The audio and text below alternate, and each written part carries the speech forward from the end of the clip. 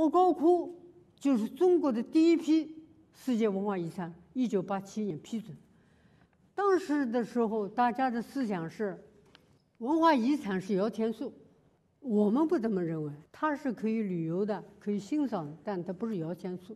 社会上没法正确的去理解保护跟旅游跟利用之间的辩证关系，那么我们就面临这么个难题啊，动不动有人来跟我讲上市。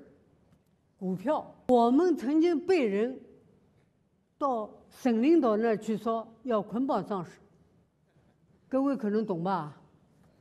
哎呦，我一听捆绑上市，他说：“哎呀，你们不是缺钱吗？”我告诉大家，当时我们刚改革开放之前很可怜的，我们连洞窟的窟门都修不起。你说？如果让他们拿去，他会帮你去保吗？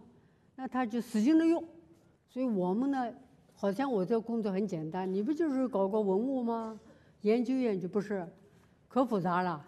我老说经常在风口浪尖上，我们的旅游部门咄咄逼人，叫你恨不得全部打开。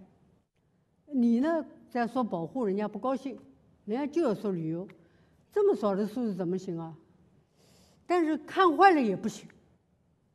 这么好东西交给了你樊锦诗，交给你研究，不能让他弄。